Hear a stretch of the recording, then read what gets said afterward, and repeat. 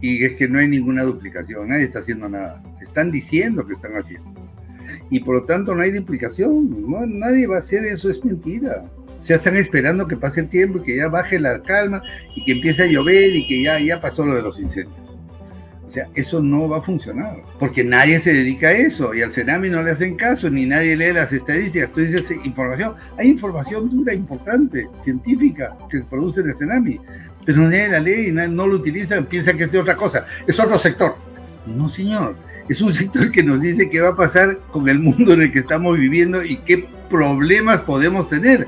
Y eso se trata cada año en las conferencias mundiales sobre el tema del cambio climático y que los científicos te dicen, señores, señores, señores políticos, hay que hacer esto, esto y esto, hay que hacer tal cosa. Saben que la ciencia vale, saben, saben que los avances de sus países con respecto a la ciencia y sin la ciencia no hubieran hecho nada. Pero cuando la ciencia les dice algo que va en contra de sus bolsillos, ahí sí no.